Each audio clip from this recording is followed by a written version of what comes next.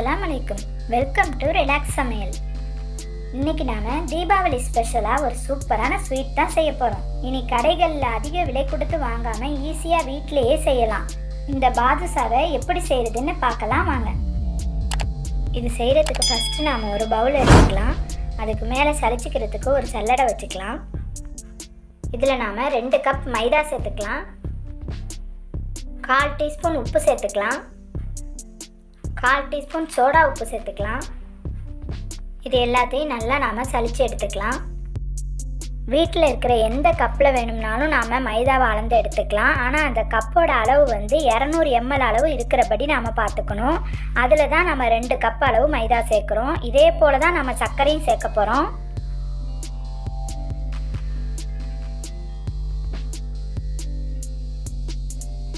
இப்போ மைதா சோடா உப்பு உப்பு எல்லாம் நல்லா கலந்துருக்கும். சளிச்சு எடுத்தாச்சு. இப்போ இந்த மாவில் நடுவில் ஒரு சின்ன பள்ளம் நோண்டிக்கலாம். அந்த பள்ளத்தில் கால் கப் எண்ணெய் சேர்த்துக்கலாம். நம்ம சாதாரணமாக சமையலுக்கு யூஸ் பண்ணுற எண்ணெய் தான் நான் சேர்க்குறேன். ஒரு டேபிள் ஸ்பூன் தயிர் சேர்த்துக்கலாம். இது எல்லாத்தையும் நல்லா கலந்து விட்டுக்கலாம். இந்த எண்ணெய்க்கு பதிலாக நீங்கள் நெய் கூட சேர்த்துக்கலாம். இல்லை பட்டரை கூட நீங்கள் உருக்கி அதையும் கூட சேர்த்துக்கலாம். உங்களுக்கு எது விருப்பமோ அதை நீங்கள் சேர்த்துக்கலாம். இந்த மாவோட அந்த தயிரும் எண்ணெயும் நல்லா கலக்கிறபடி நல்லா கலந்து விட்டுட்டு நாம் கொஞ்சம் கொஞ்சமாக தண்ணி சேர்த்து இதை நாம் பிசைஞ்சு எடுக்க போகிறோம்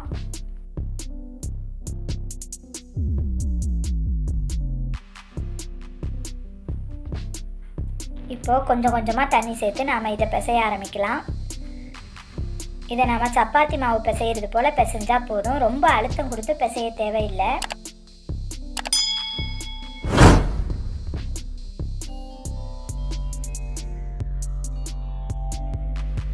இப்போ மாவு பிசைஞ்சு ரெடியாக இருக்குது இந்த மாவு ஒரு அரை மணி நேரம் அப்படியே ஊறட்டும்.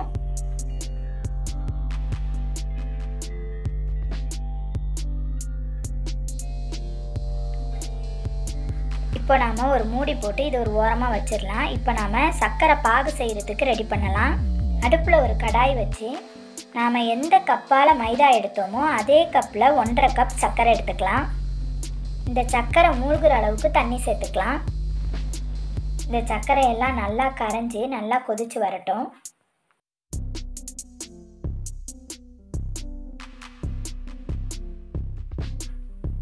அடுப்பை நம்ம ஹை ஃப்ளேம்லேயே வச்சுக்கலாம்.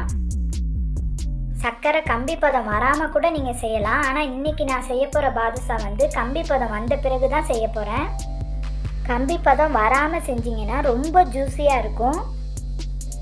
நான் செய்கிறது வந்து கடைகளில் கிடைக்கிற பாதுஷா போலவே இருக்கும். அப்பப்போ கம்பி பதம் வந்துருச்சான்னு நம்ம செக் பண்ணி பார்த்துக்கலாம். வாசனைக்காக நம்ம கால் டீஸ்பூன் ஏலக்காய் பொடி சேர்த்துக்கலாம்.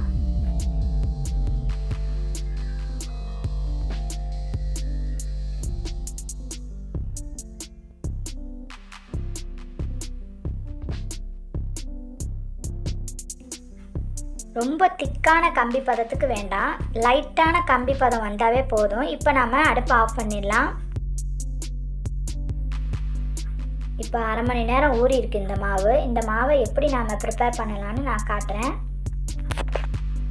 இதை போல் மாவை ரெண்டாக பிச்சு நம்ம மேலே மேலே அடுக்கணும்.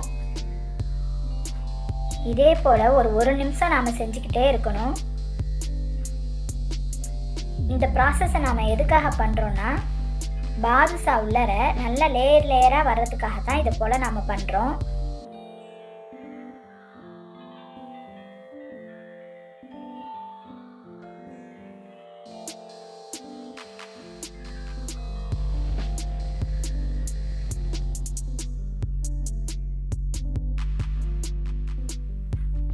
இதை போல் ஒரு நிமிஷம் நாம் அடிக்கிட்டு சப்பாத்தி மாவு உருண்டை போடுறது போல் உருண்டை போட ஆரம்பிச்சிடலாம்.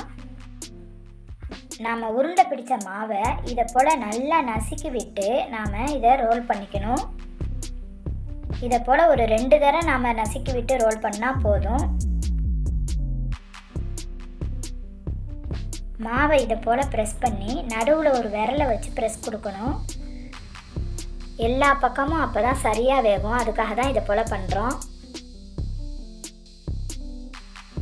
உங்களுக்காக இன்னொரு உருண்டை நான் செஞ்சு காட்டுறேன் பாருங்கள் மாவை எடுத்து நல்லா உருண்டை பிடிச்சி இதை போல் நல்லா ப்ரெஸ் பண்ணி விட்டு ரெண்டு தரம் இதை போல் ரோல் பண்ணிக்கணும்.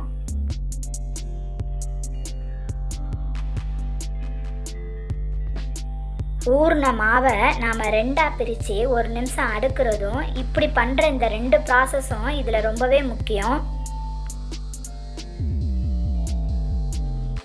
இதே போலவே மீதி இருக்கிற மாவையும் செஞ்சுட்டு எல்லாத்தையும் நான் மொத்தமாக காமிக்கிறேன்.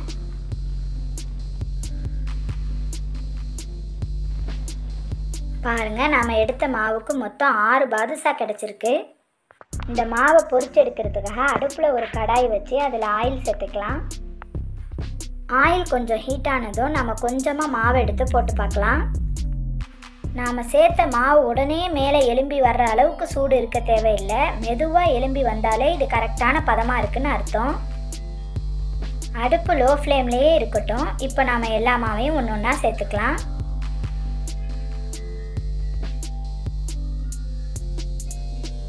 இதை நாம் அவசரப்பட்டு ஹை ஃப்ளேமில் வச்சு பொறிச்செடுத்தோம்னா உள்ளர மாவு வேகவே வேகாது. அதனால் லோ ஃப்ளேமில் வச்சு தான் நம்ம இதை பொறிச்செடுக்கணும்.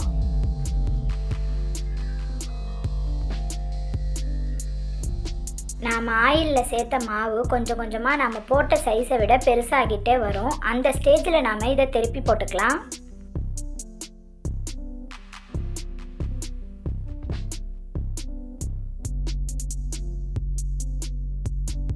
நம்ம சேனல் ரிலாக்ஸ் சமையல நீங்கள் இதான் ஃபஸ்ட் டைம் பார்க்குறீங்கன்னா கீழே இருக்கிற ரெட் கலர் சப்ஸ்கிரைப் பட்டனை கிளிக் பண்ணி பக்கத்தில் இருக்க பெல் பட்டனை கிளிக் பண்ணி ஆளுங்கிற ஆப்ஷனை கிளிக் பண்ணிக்கோங்க. அப்போ தான் நான் போடுற வீடியோஸ் உங்களுக்கு உடனுக்குடன் உங்கள் மொபைலுக்கு வந்து நோட்டிஃபிகேஷனில் வரும். நீங்கள் என்னோட வீடியோவை மிஸ் பண்ணாமல் பார்க்கலாம்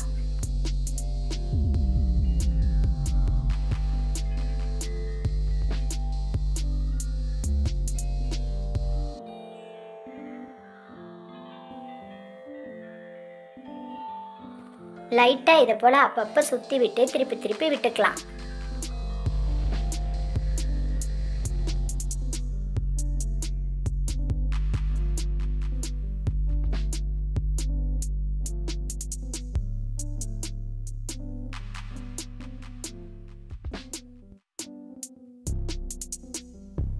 இதை போல் கோல்டன் ப்ரௌனாக ஆன பிறகு ஒவ்வொன்றையாக நாம் எடுத்து வேற ஒரு பிளேட்டுக்கு மாற்றிக்கலாம்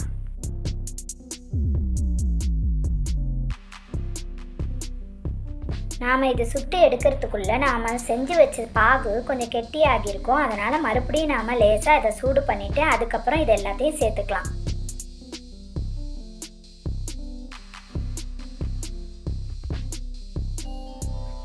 இதே போல் சர்க்கரை பாகை மேலே மேலே எடுத்து ஊற்றி ஒரு பத்து நிமிஷம் அல்லது அதிகபட்சம் இருபது நிமிஷம் ஊற வச்சா போதும். நாம் இப்போ செஞ்சிருக்கிற பாதுஷா ஊறின பிறகு இதை போல் மேலே சர்க்கரை படிஞ்சது போல தான் இருக்கும். மேலே நல்லா கிறிஸ்பியாகவும் உள்ளே நல்லா சாஃப்டாகவும் ரொம்பவே டேஸ்ட்டாக இருக்கும். வீட்டில் கண்டிப்பாக நீங்களும் ட்ரை பண்ணி பாருங்கள் பாருங்கள் லேயர் லேயராக எவ்வளோ அழகாக இருக்குன்னு. இந்த வீடியோ உங்களுக்கு பிடிச்சிருந்ததுன்னா உங்கள் ஃப்ரெண்ட்ஸ் அண்ட் ரிலேட்டிவ்ஸ்க்கு ஷேர் பண்ணி விடுங்க. டேஸ்ட்டில் அப்படியே நம்ம கடையில் வாங்கி சாப்பிட்ற பாதுஷா போலவே இருக்கும். இதே மெத்தடில் நீங்களும் வீட்டில் கண்டிப்பாக செஞ்சு பார்த்துட்டு எப்படி இருந்துச்சுன்னு சொல்லுங்கள் இதை போல் வேறொரு நல்ல வீடியோவில் உங்களை நான் சந்திக்கிறேன். தேங்க்யூ